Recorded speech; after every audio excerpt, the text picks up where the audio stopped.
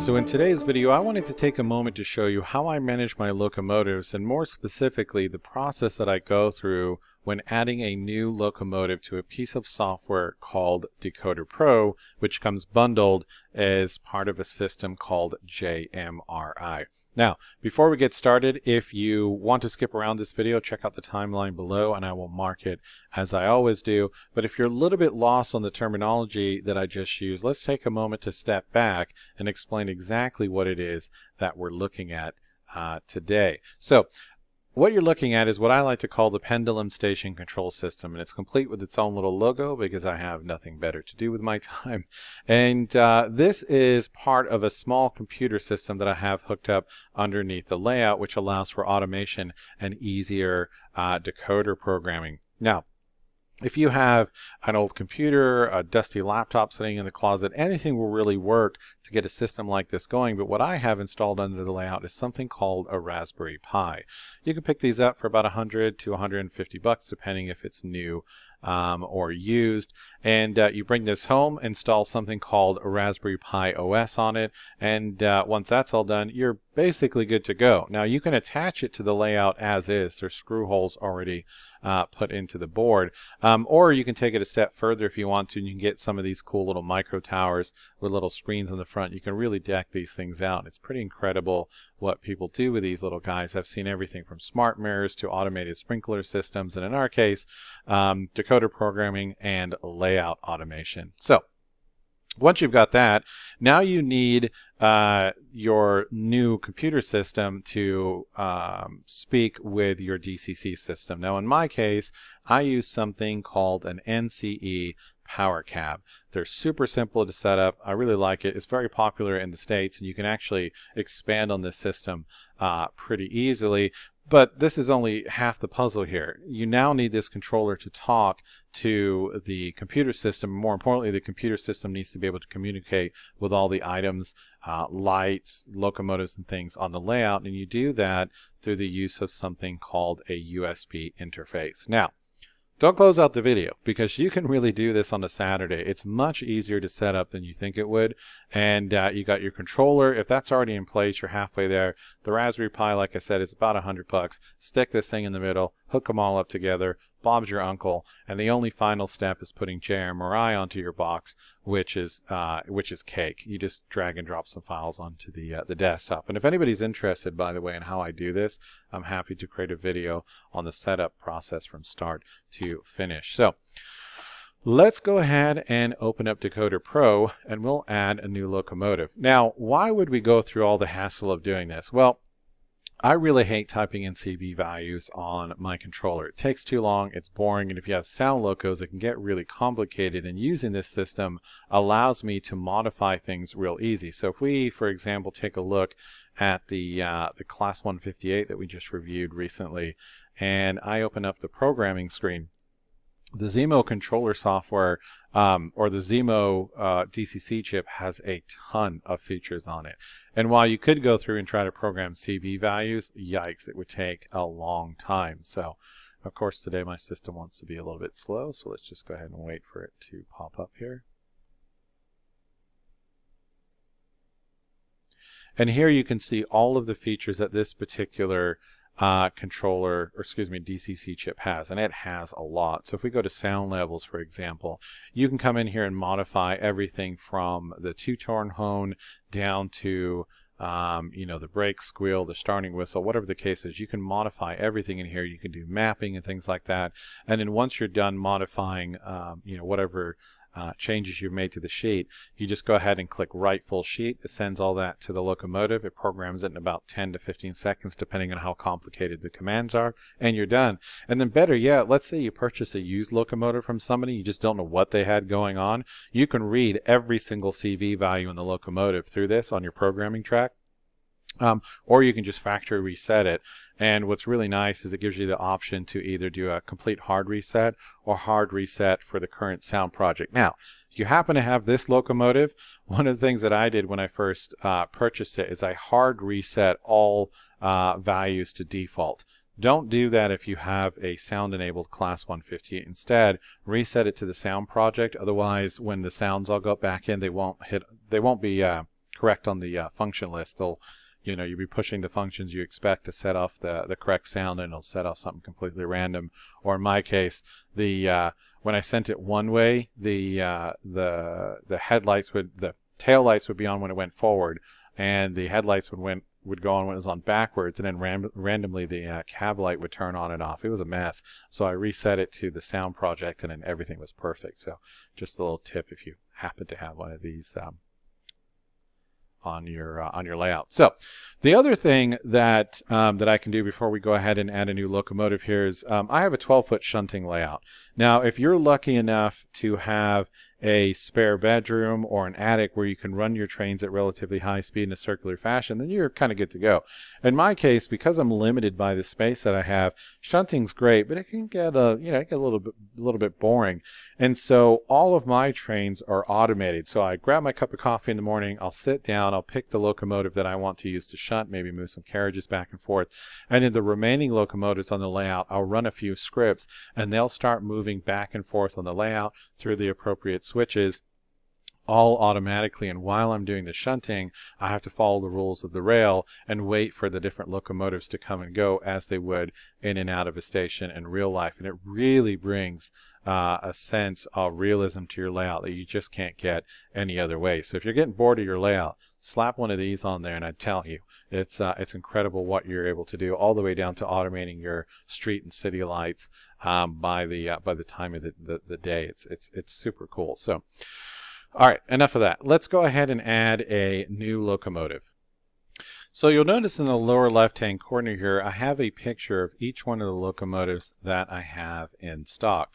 Now, I had to play around with a ton of sizes because the recommended size that, uh, or resolution, I should say, rather, that was listed on online really didn't make for a clean thumbnail. So the way that I do it is I pop the locomotive in question into Photoshop. Now obviously you have to be respectful of copyright, but because we're just using this locally, not selling it or putting it online, generally speaking, um, I just grab whatever I find on uh, on Google Images.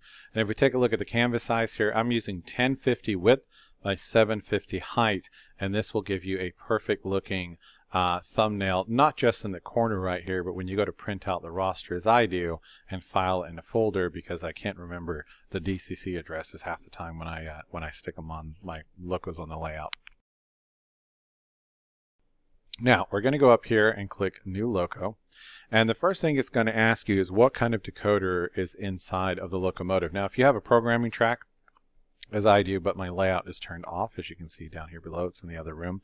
Um, you can just read the decoder, and JMRI does a pretty good job of finding the decoder uh, automatically. They really try hard to keep all the all the decoders uh, up to date. In my case, we're just going to go ahead and add it manually. So I'm going to scroll down. I'm using a Soundtraxx MC1H104P21, and they are great because they're cheap.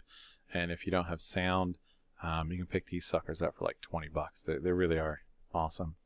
So we're going to go to Soundtraxx and we're going to look for the simple MC motor decoders and I'm going to look for the 21 pins. I'm going to check here. We got MC1H104P21 and uh, it's going to ask us for a roster ID. So you can make this whatever you want. What I do is I do British Rail Dash, just you know, it's arbitrary, but that's what I like to use. And then in the case of this locomotive, it's 5992. So I'm just going to do 5592, uh, excuse me, 5599, and that will be the long address that I'll use for this locomotive. Now, I haven't actually programmed this because I just finished a review, and I know that its uh, short address is 3. So I'm going to set it as 3 for now, and the next time I program it, I'll switch it over to the long address. So we'll go ahead and click Save and we can close out this little box and you can see now we've got a new entry but it is missing several bits of information. So first thing we want to do is add a picture because that's the fun part. So I'm going to go ahead and bring this down in size here and we'll close out the JMRI folder. And we're going to click on labels and media and uh, I already whipped up an image earlier.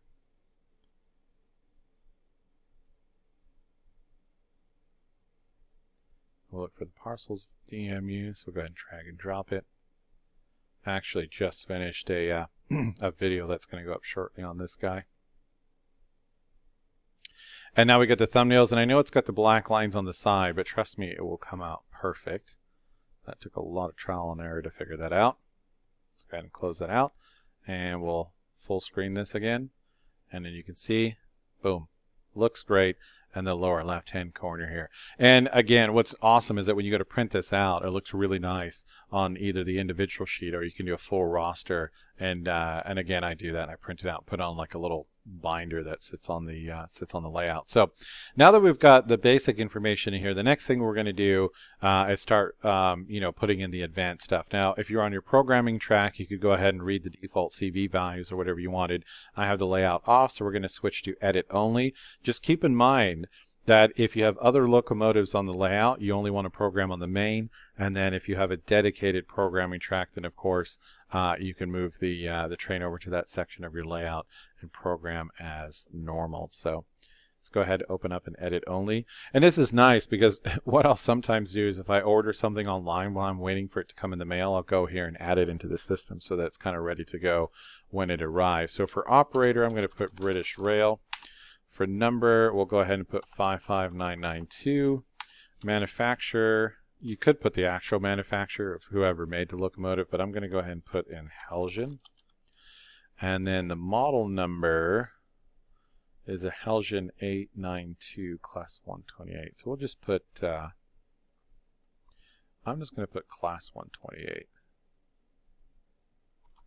And then what I like to do is put the rest of the information and below. And I use Hattons because they, they tend to have the most accurate information or train. What's that? There's a website called uh, Model Train Database, I think it is, and they have a lot of information on there too. And then if you have any comments on the decoder, you can stick this in here uh, as well. But for me, yeah, that's uh, not applicable today.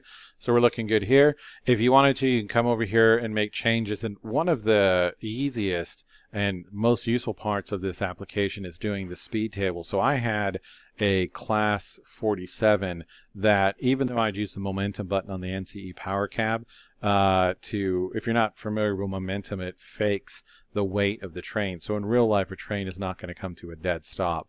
Um, instead, because it weighs so much, it takes quite a bit of time to slow down depending on the speed. So you can put something in called momentum so that when you turn off the uh, the power to the locomotive, it kind of rolls to a stop rather than just you know stopping uh, dead in its place, which really kind of kills the realism. But in any case, I had one that just would not do it for whatever reason. No matter what the momentum was set at, it just sucked. It always come to this ugly dead stop.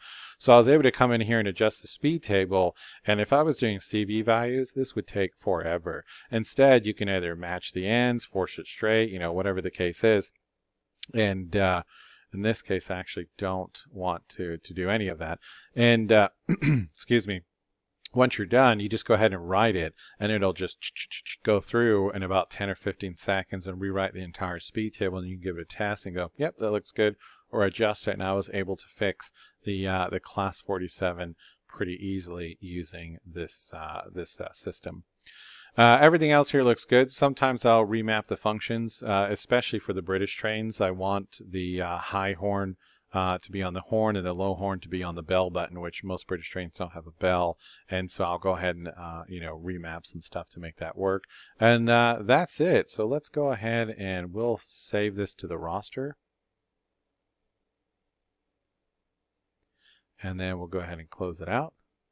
And now I've got an inventory of this. I can see its ID number, its current address, which is 3, the decoder model, operator, you know, British Rail, and then I can see the number, the manufacturer, so on and so forth, and all at a glance the most important information I need. And in fact, um, I'm going to be adding a little screen just above the layout that lets me see this so I can switch between a program as required. So it's a really, really great system. Now, quick comment before I end the video.